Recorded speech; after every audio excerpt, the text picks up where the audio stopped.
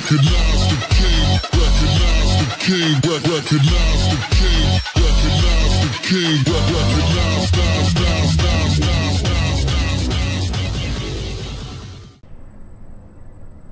So, uh, hey, this is Jason, or Heretic PB of GamingCentrum.com.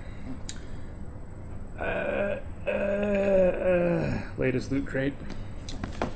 it's already been opened and looked at, but uh, showing you more. Can't really see the thing in the box. Yeah. Okay. Yeah. And then there's stuff in there.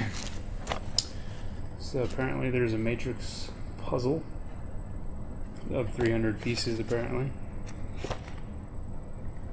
Hopefully y'all could see that. I don't know. Bunch of stuff.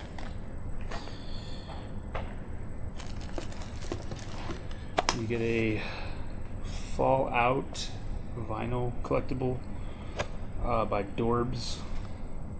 Uh, power armor is what it is. I'm not a big Fallout fan, so I don't know.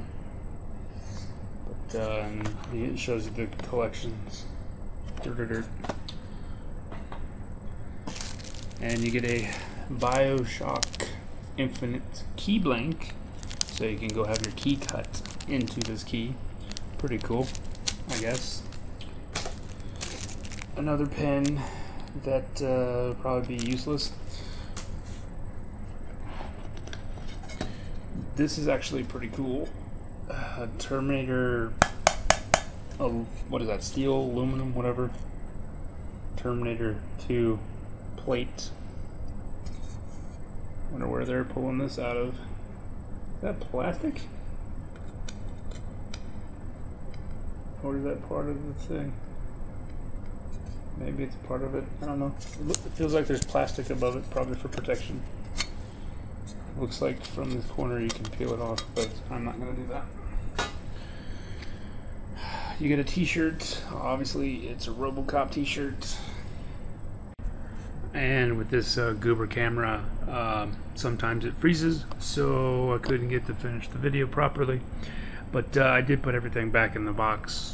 Uh, the Loot Crate pin is for Fallout Shelter uh, mobile game uh, what you do is you actually get an exclusive wallpaper and a ringtone, which, boy, that's fantastic.